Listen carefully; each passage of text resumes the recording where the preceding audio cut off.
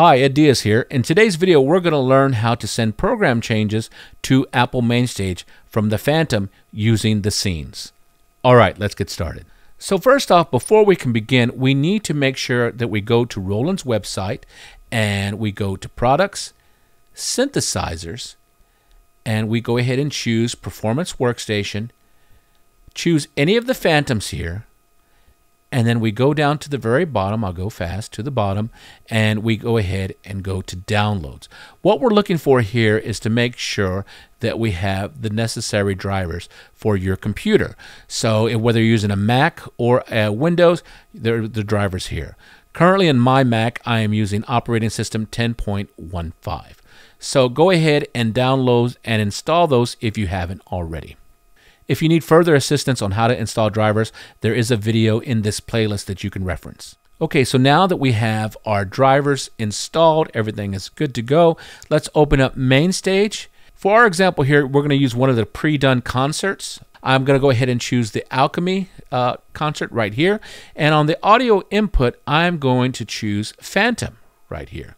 Uh, quick note at my Fantom, if I press menu, I go into the system, on my Fantom, I have it set for vendor mode, which allows the Fantom to send audio and MIDI back and forth over USB. This is how I'm doing this, and this something's pretty cool. So if you're not sure about that, this is the way to do it. Another way, if you just wanted to run a MIDI from USB back and forth, you can put the Fantom in generic mode, and that'll work as well. But in this example, I'm using taking full advantage of the Fantom's uh, USB audio MIDI uh, as an interface. All right, so now that we have that, uh, another thing that I went ahead and did is I set up a template inside the Fantom. You don't have to do this every time, but right now while you're learning this, it's it's not a bad idea to have a template. So all I did was I just uh, chose an internal scene.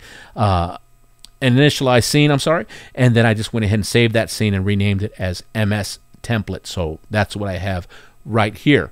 Uh, another thing is I went ahead and made sure that I have I'm using channel 1 in this example. Technically, you can use any of the channels for the externals, but on this example, I'm using channel 1, and I turned it green. Normally, it's red, which red means internal, internal sound engine. Green means external. All I have to do to go from red to green Press and hold shift, hit the button. It's going to go red for internal, green for external, and yellow, which is going to go both internal and external, which that's something we'll explore in a future video. So here we go, green. So now the Fantom is sending external out of the Fantom into MainStage. All right, let's go ahead and start MainStage.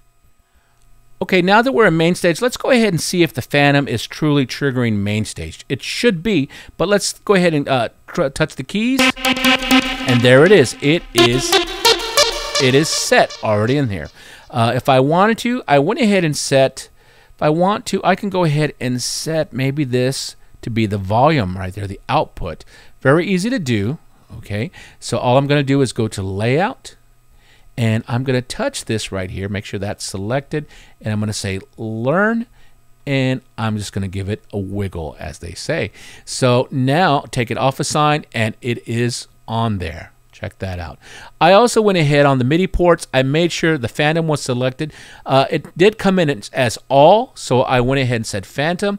And for my example, I'm going ahead and put it on channel 1 if you're unsure and you or if you want to have multiple channels from the Fantom going to MainStage, which you can do, and we're going to explore later, uh, you could go ahead and have it channel 1 through 16. But for this example, let's go ahead and just do channel 1. That's fine. All right, great. And I think we are set. So now let's go to the edit and let's go back over here to where we have some of our different sounds. All right, so now the Fantom should be set up. And if you look right now, this fader is uh, assigned to that output. Very cool, very easy. All right, now let's get into the point of the video and let's have the Fantom uh, send program changes from a scene to MainStage. All right, very easy. Check this out. So over here on the left side, when I click on these, notice this is normally where you go to your patch library and choose your patches, but I can also come into here and hit attributes. Once I hit attributes, it's going to say bank select and program change. Uh, just so you know, the bank selects on uh, MainStage is from 0 to 127, and the Fantoms, the Rolands, are from 1 to 128. So they're off minus 1, okay? So they're off on 1. Uh, what I went ahead and did, so the program changes were in line, I went ahead and went to MainStage, preferences, and let's go into uh, MIDI right now. And on the program change range, I had two choices 0 to 127 or 1 to 128. Since the Rolands do 1 to 128, that's what I've chosen here. All right, let's go ahead and get out of here. And now I'm going to go inside my Fantom Shift, hit Zone Select, and it's going to take me to this screen right here. All right, so there we go. I go ahead, I can use these knobs, and it automatically went down into the external green going outside. Just remember that.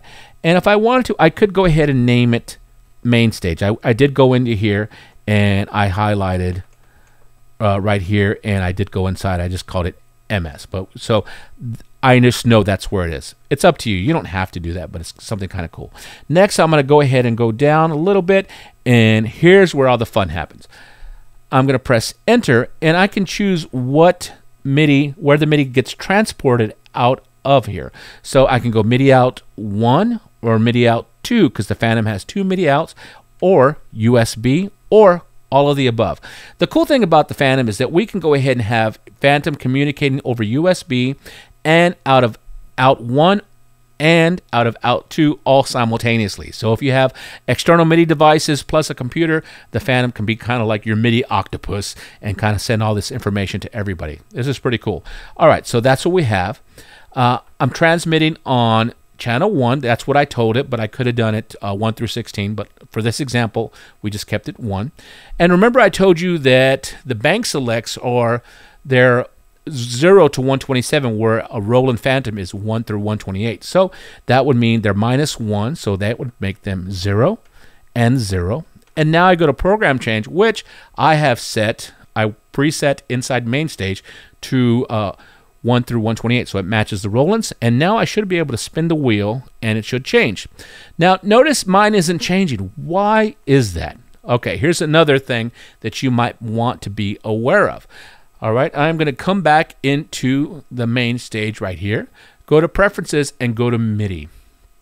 So, you know, I might need to reset the MIDI. So I'm going to go to setup and I'm going to go ahead and take it from default to Fantom Vendor.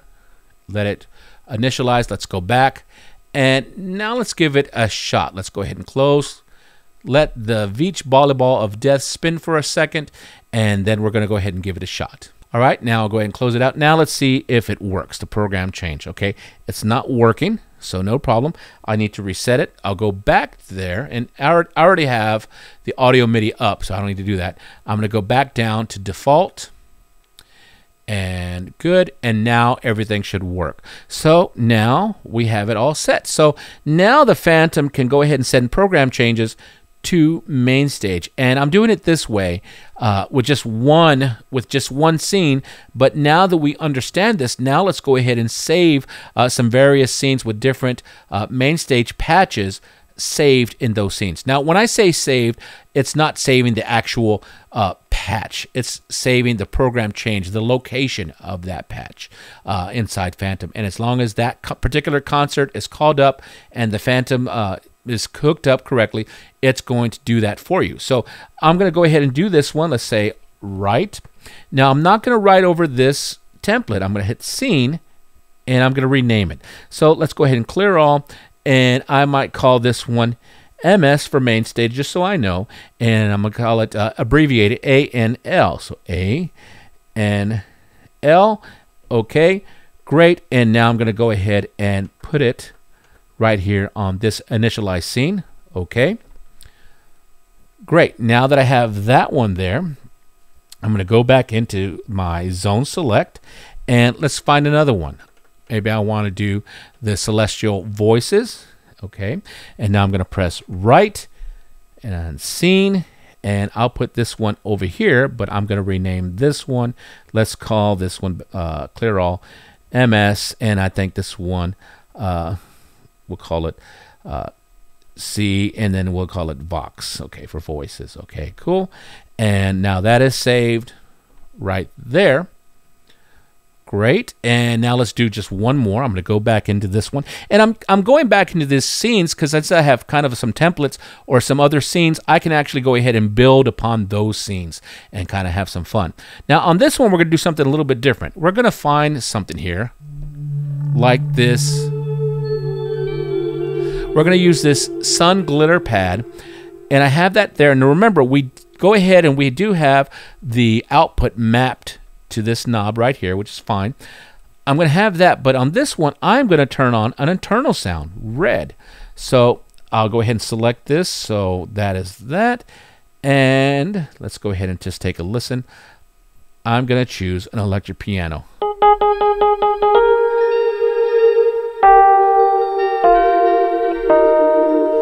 That quick, I actually have them layered together. So now we have a and I can adjust my volume.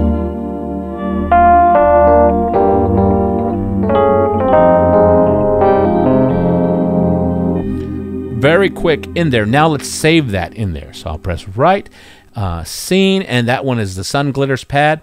I'll rename it, clear all.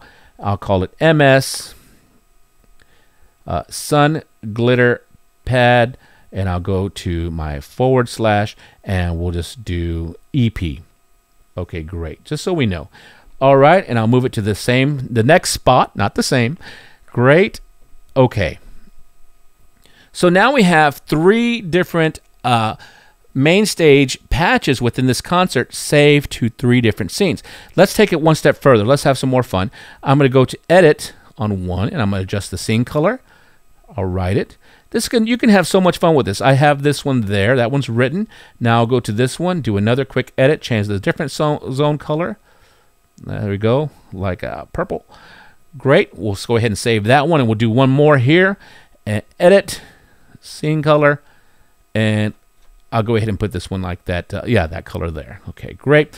Okay, so now that we have that, watch what we have going. I have all these different scenes, and as I select the scenes, MainStage is changing. This is pretty cool. That easy. Now, if we wanted to, we could go a step further since we have these scenes, and we could take advantage of scene chain. Very quickly, I'll choose a scene chain. I can come into here and say edit and I can go ahead and start adding different scenes. So if I wanted to go ahead and add uh, D, and I can go ahead and move over, and I can say, all right, select that one there. I can go to this next one, select scene. I can say, okay, let's put this one here. And then I can take full advantage of uh, the scene selects. Pretty cool. Just having uh, the scene chains in there. So now I'm actually changing uh, patches in MainStage right from the Fantom, and I can do it on the screen or also by just using the scene changes by hitting the uh, buttons right here. So that's pretty cool. So so give this a shot. It's actually really, really cool that you can go ahead and use the Fantom and you can use only MainStage if you want, but if you choose, you can actually come into here and say, I want to go ahead and combine MainStage with Fantom Sounds. Very quick and very easy. All right, you guys check this out. I hope it helps you. Take care, and we'll talk to you later.